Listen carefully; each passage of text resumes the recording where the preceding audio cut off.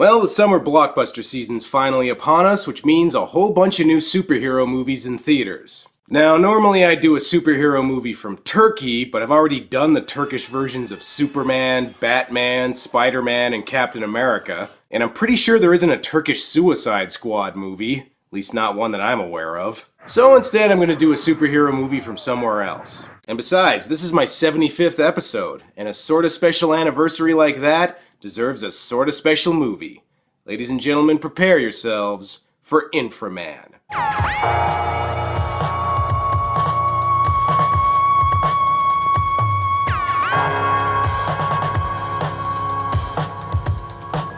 Inframan is a 1975 Hong Kong superhero, kung fu, monster, sci-fi, whatever the fuck movie that's also known as the Super Inframan and Chinese Superman. Uh, yeah, I've seen other countries' knockoffs of Superman, and you ain't one of them. Speaking of knockoffs, the movie was made by Shaw Brothers Studio, who also made Mighty Peking Man. Hey, just so long as it's not made by the same people as Queen Kong, I'm okay with that. I don't know what these symbols in the opening credits mean, but I'm pretty sure I shot them in Space Invaders. It's also not a good sign that the fight choreography was apparently done by a chia pet. I appreciate the psychedelic effects though. This is your brain on the drugs you should be on when watching this movie. So anyway, the movie begins with a busload of school children getting attacked by a weird pterodactyl monster which disappears and causes an earthquake? Alright, so there's our opening scene.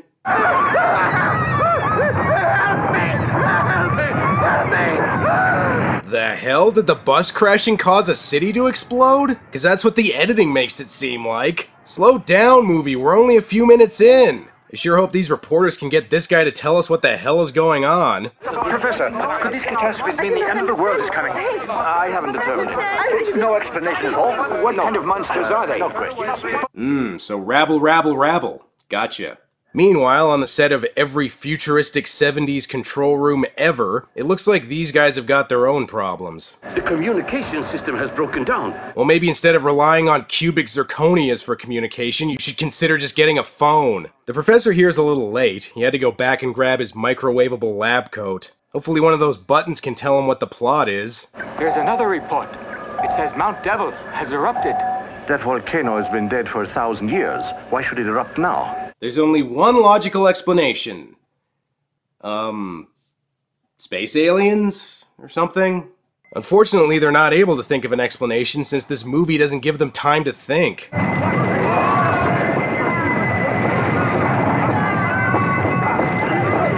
How far in are we now? This movie does not fuck around. Oh hey, that's what's causing the volcano to explode. Someone put a He-Man playset underneath it. And it turns out the one responsible for all this is... Asian Madonna Evil Lyn? Man, I am not a fan of Rita Repulsa's design in the new Power Rangers movie. Seriously though, who is this? Greetings to you, Earthlings. I am Princess Dragamon. Huh? Uh, say that again? Princess Dragon Mom.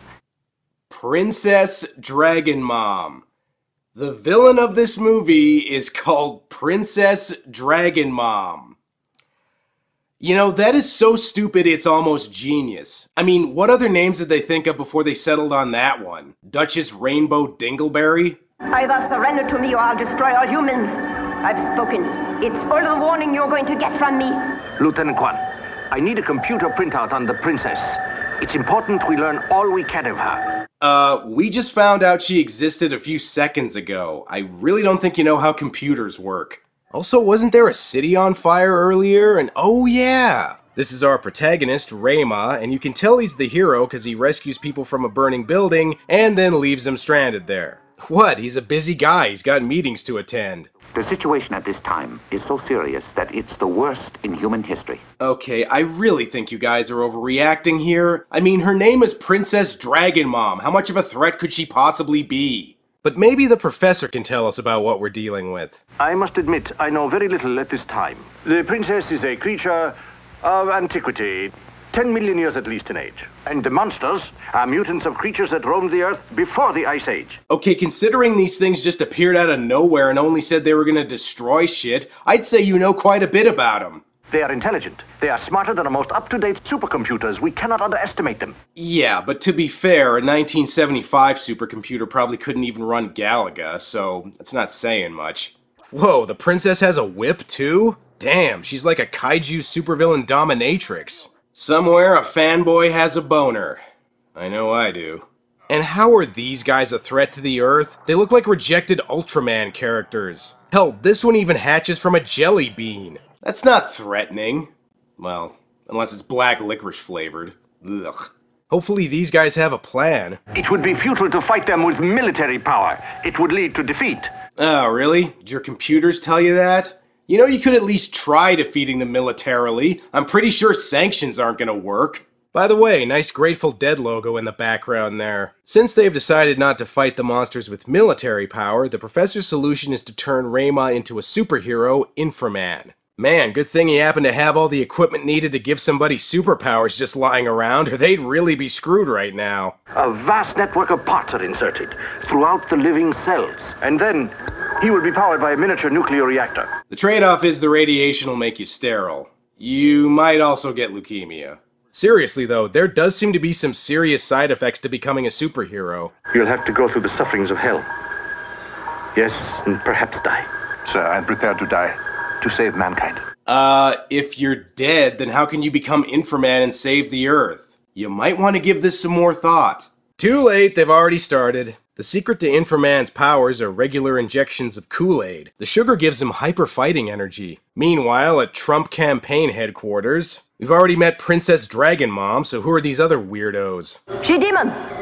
Princess I am your servant forever. Jeez, you'd think if you were gonna get an outrageous cone bra, you'd go a little bit bigger than an A cup. The princess sends Weedman and Clayface here to wreak havoc on the outside world, which mostly consists of them destroying Herbie the Love Bug.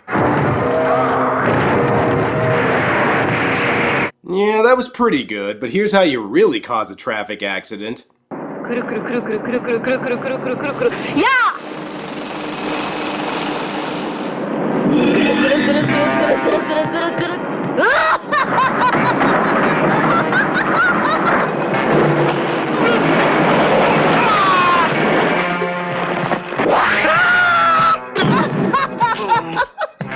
Yeah, that's right, Hong Kong. You can try all you want, but when it comes to truly bizarre shit, you will never beat Japan. Plank Guy here goes to destroy the science team's satellite, and. Hey, wait a minute. Asian movie? Tentacles? I don't think I like where this is going. Oh, wait, never mind. He's just recreating the poison ivy parts from the Batman Arkham games. Quickly, men! A tug of war is our only hope for survival! I will give the movie this, they sure put their stuntmen through the wringer. At first I thought this shot was done with a dummy, but nope, that's a real guy. Well, guns don't seem to be working. Does anyone have some weed killer? The professor still seems to be working on Inframan, who is apparently powered by AA batteries? Great, what's his backup power source, a hamster wheel? Oh well, at least these guys figured out hedge clippers are a better solution. So is Inframan ready yet? Success.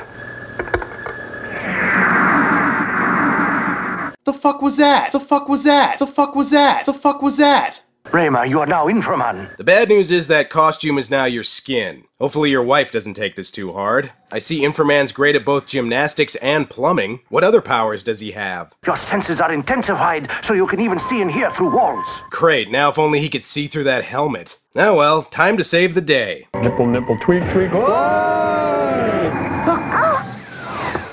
That's Inframan, the Inframan. Inframan! How do people know who he is if he just got created? These tentacles may not be as naughty as some of the others I've seen on this show, but they still manage to include a money shot. Plus, the monster also has a really quick recovery time. Fortunately, Inframan knows that the quickest way to a monster's heart is by blowing it the fuck up. Also, the only way to beat a tree is by hitting it with another tree. You know, the fight choreography is actually pretty good, but they're just wasting time. Everyone knows this is just the build-up for when Inframan jumps in his robot. They said the monsters couldn't be defeated by military means, but I guess fireworks are their greatest weakness? Oh, and a laser, of course. Inframan managed to defeat the monster, but it looks like one of the science team's been captured. Why am I a prisoner? I expected to be killed. Yeah, what the hell, lady? I demand that you kill me right now. Turns out the reason they captured him is so they can brainwash him and use him to infiltrate science headquarters. Alright, I know I already made a this is your brain on drugs joke, but screw it, here's another one. This is your brain on evil. Oh, and by the way, eyes are down here, pal. Inframan may have defeated one monster, but he'll need some improvements to defeat all of them. There are other weapons I haven't given you as yet. For success, it's essential you have Thunderball fists. I can have such a thing. I can also give you Thunderfist balls. Looks like Brainwash Guy's returned after going through his goth phase. I wonder if he'll make the other guys suspicious. Sir, there's something wrong with his eyes. Hey, that is racist! Oh, right, sorry. Brainwash Guy knocks out a guard and steals his key, and hey, hey, hey, watch the hands, buddy. Oh, I see why Princess Dragon Mom hypnotized him. She's after the Inframan storyboards, the Fiend. What's weird is that it's not even Inframan who discovers and goes after him, it's this guy. Yeah, I'm sure they said his name at some point, but when you've got characters named Princess Dragon Mom, you tend to forget the normal ones pretty easily. I guess the movie's a Chinese version of Chips now, and this guy quickly learns that following bad guys only leads to more bad guys. This guy may not be a superhero, but don't let his goofy Moe Howard haircut fool you. He's actually pretty tough. Some reinforcements show up, and if a bunch of non-superpowered guys with no weapons are able to do this well against the monsters, why aren't they able to defeat them militarily again? Looks like it's time to transform into Inframan and... Oh, come on, guys! You forgot to put the background onto the blue screen.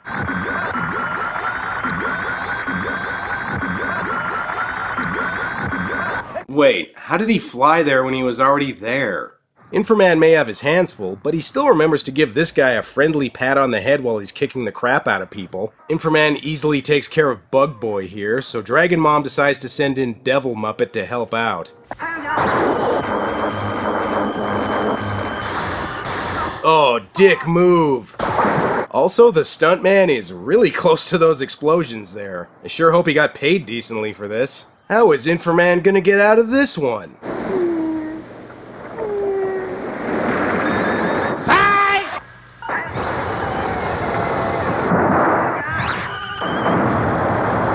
Huh. Well, that monster went down easy. He still got Beetleface to deal with, though. Plot convenience, make my monster grow! Well, there's a switch. The bug's trying to squash him. And what the hell? You mean Inframan could grow bigger this whole time? Why didn't he do that at the beginning of the fight and just step on him? Oh well, at least they're fighting next to a giant bug zapper.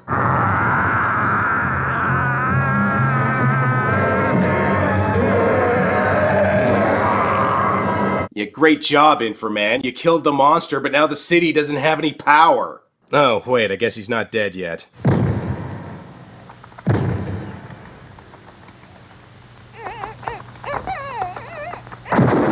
Congratulations! You just did what you should have done in the first place! Meanwhile, the princess examines Inframan's blueprints for a weakness and finds out he's got an exhaust port that can cause a chain reaction if you fire proton torpedoes in it, or something. What the hell? Did they interrupt the movie to have a picnic? Come on, let's go over there. Uh, okay. Who the hell are you again? Apparently, these are the professor's kids. Well, way to wait until more than halfway through to introduce the movie. Now I hardly have any time to not give a shit about them. Someday Daddy said he'll create an imp for a girl, and if he does, I'd like to get changed into imp for a girl.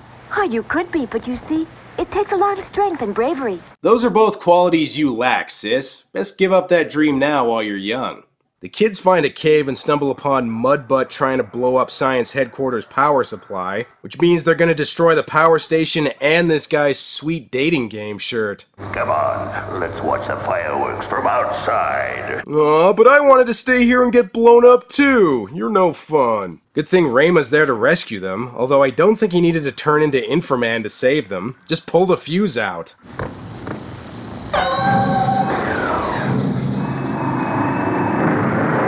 Okay, I'll admit that was more awesome than him just pulling the fuse out.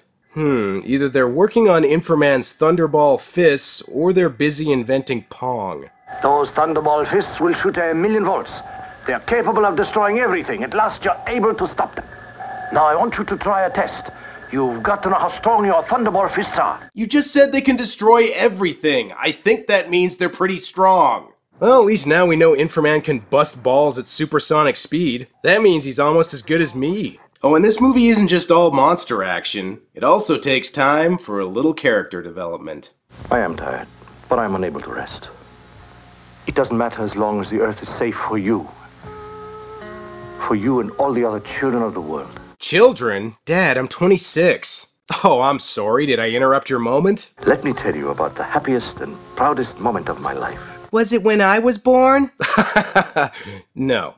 Instead of giving all these upgrades to Inframan, this place should really invest in some better security. Princess Dragon Mom demands that the professor come to her castle alone, but on the plus side, at least they give him a ride in their speedboat. Oh, watch your step, pal. Wouldn't want to damage the costume. The professor enters the Inframan action playset to meet with the princess, but first she has to deal with Su Ming.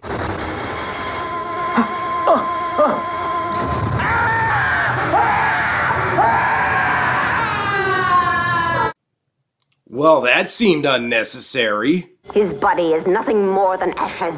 Now do you understand? Yeah, I understand that fire burns people. Did you really need to kill one of your henchmen to prove that? The princess says she'll kill the professor's daughter if he doesn't cooperate, and uh, hey, could you speed up your evil speech there, princess? I think the monster in the back has to pee. We also learn Inframan gets his power from the sun, so shit, I guess he really is Chinese Superman. Rayma goes to rescue the professor as Inframan, and by that I mean he doesn't come as Inframan because I guess he forgot he's a superhero. Not that it really matters, since these mooks don't seem to be much of a threat. Oh Oh, no, I'm surrounded. If only I could turn myself into a superhero. Good thing the rest of the science team's there to bail his ass out. Okay, guns seem to be really effective. Now just kung fu him to death. You know, for scientists, they're pretty good at fighting. They might get more science stuff done if they just spent less time sparring. Oh, and the monster's greatest weakness? Dirt bikes.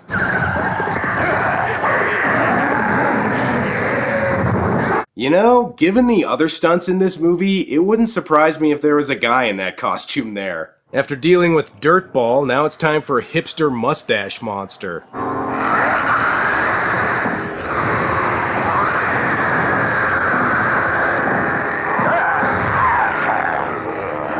Okay, seriously, turn into Inframan already, you idiot!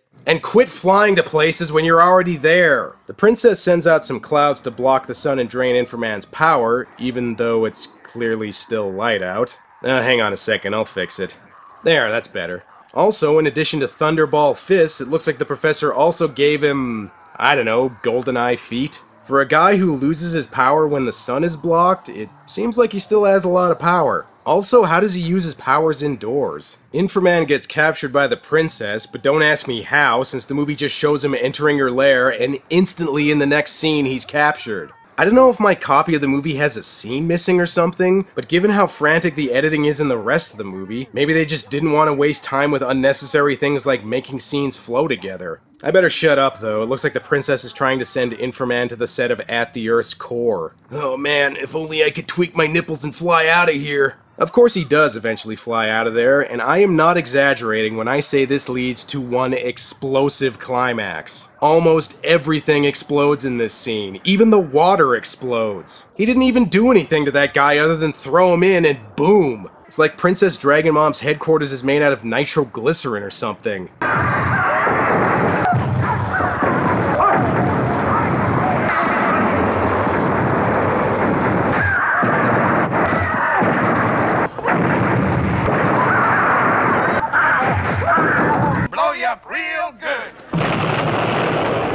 I would love to know how many stuntmen were injured during the making of this movie, because there is no way somebody didn't get hurt shooting this scene.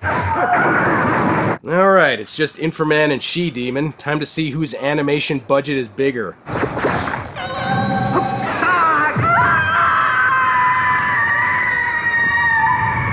Keep the change, you filthy animal. Man, oh man, this scene just doesn't let up. Even when you think Inframan's defeated all the bad guys, more weirdos come in and keep fighting him. I am a little disappointed that Inframan has to resort to using nut shots, though. That's just fighting dirty. Take him prisoner!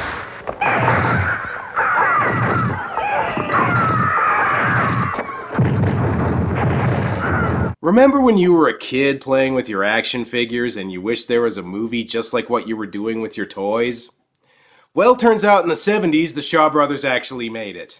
Case in point, Inframan just starts pulling new powers out of his ass. The princess freezes him, and then this happens. Rayman, if you find yourself frozen by liquid ice, your missiles are designed to thaw you out. Now, some of you may be thinking, weird, I don't remember that scene where the professor tells Inframan that. Well, that's because he didn't. The movie is flashing back to a scene that didn't happen.